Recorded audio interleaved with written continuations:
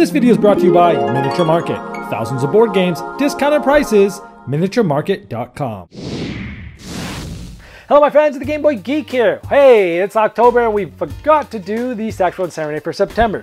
So I am going to list all the games that I gave Saxophone Serenades to last, last month, which meant they actually stayed in my gaming library.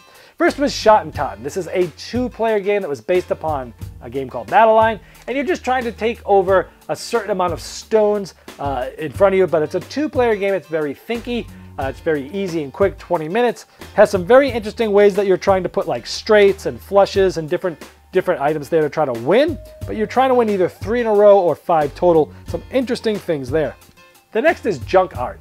This is a game I normally wouldn't like. It's a stacking game, but the game comes with 11 different cities and you only pick three of them each game. So every game is gonna feel different and each of the cities is like a different mini game. So it's almost like there's 11 different games in this box. And I absolutely loved it because it's very easy to play with non-gamers, but it's very gamer-ish too. Next is Wok on Fire.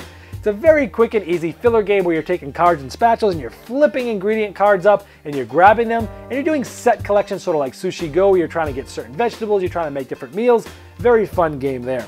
The next is the Ravens of Thri Sahashri. It's a two-player asymmetrical co-op game where there's no verbal communication. Uh, the, play, the two players play very different, but you're trying to conduct poems to speak to uh, your counterpart there. It's a very weird and interesting, unique theme, and it's one I loved because it was so different and fresh. The next one is The Networks. This is a Euro-style game, takes about 60 minutes to play, and you're, you're developing TV shows, you're adding stars, you're adding advertisements, you're trying to slot things in the right time slot, you're trying to get synergy bonuses for always having a lot of the same genre. Very fun Euro-style game with a great theme. It was a ton of fun for me.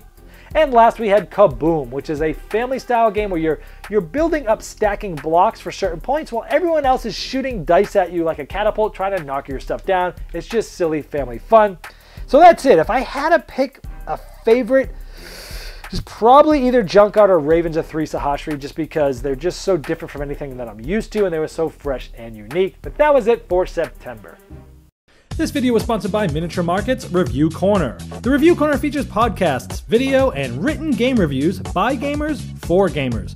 Miniature Market, the online gaming superstore. Thousands of board games, discounted prices. Check them out at miniaturemarket.com. I'd like to thank each and every one of you for backing me on Kickstarter, making this season become a reality. I'd like to especially thank those here that have backed me at the credit level.